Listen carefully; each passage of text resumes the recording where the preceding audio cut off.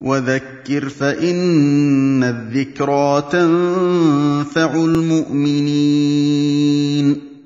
Omar ibn Khattab un jour est venu avec un livre des gens du livre et il l'a lu au prophète sallallahu alayhi wa sallam. Le prophète sallallahu alayhi wa sallam s'est fâché, il l'a regardé. Il a dit, je suis venu avec, avec une voix bien claire.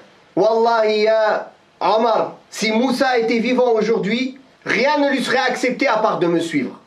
وَقُل رَّبِّ زِدْنِي عِلْمًا